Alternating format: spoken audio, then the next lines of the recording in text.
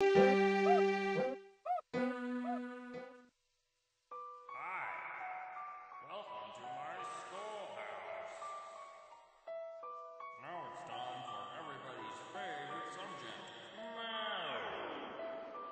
go to school and get a corrupted education.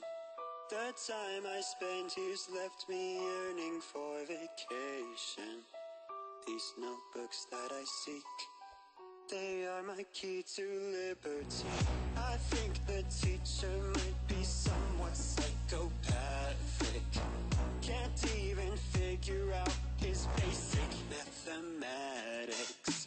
Incomprehensible, close to impossible. And as I get his problems incorrect, he directs. I hear every